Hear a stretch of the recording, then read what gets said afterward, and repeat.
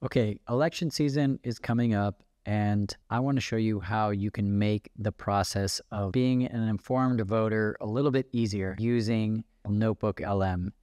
What this does is it allows you to upload contextual information and it kind of centralizes all of your thinking into these different notebooks. So let's go ahead and start a new notebook and start by uploading some context and give it the ballot. And I want to give it the voter pamphlet I was sent, and you can mm-hmm. find both of these things online.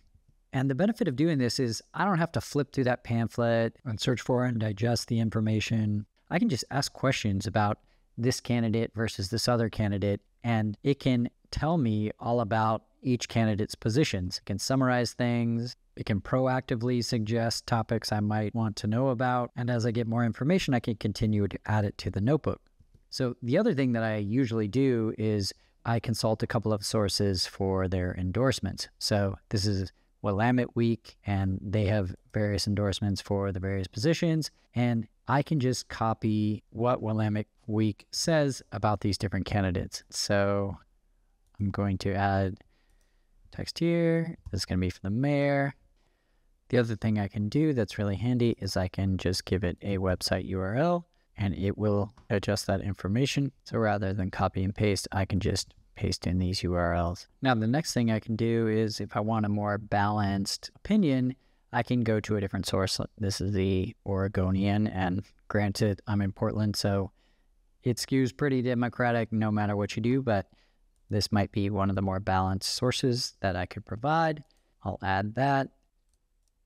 It also does YouTube videos. You might have noticed that Willamette Week provided city council sessions in the form of YouTube videos. We could paste those in there.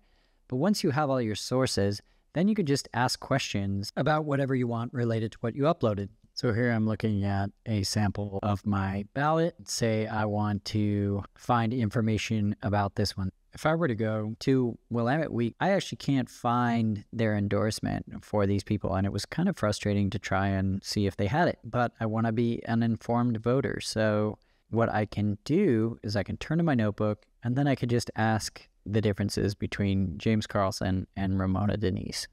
And based on this information, I can read about their qualifications, who is endorsing them, what their platform is, etc., all nicely summed up in this notebook. And there are citations for each bit of information that point back to the original source. Now, the other thing I can do that's super useful is I can check this information to make sure it's coming from a valid source. So I click on one of these citations, it jumps me right to the point in the original source material I pasted, and I can see, yes, indeed, Ramona Denise was involved with the Wild Salmon Center, etc. The other thing that this does is it actually helps you be informed about the different ballot measures and concerns of interest happening in your election season. For example, this question here was generated by Notebook LM. This can be a big help when you're trying to be an informed and impartial voter. Let me know how this process works for you. Let me know how you use Notebook LM, or let me know other tricks that you've come up with for simplifying the voting process. Thanks for watching.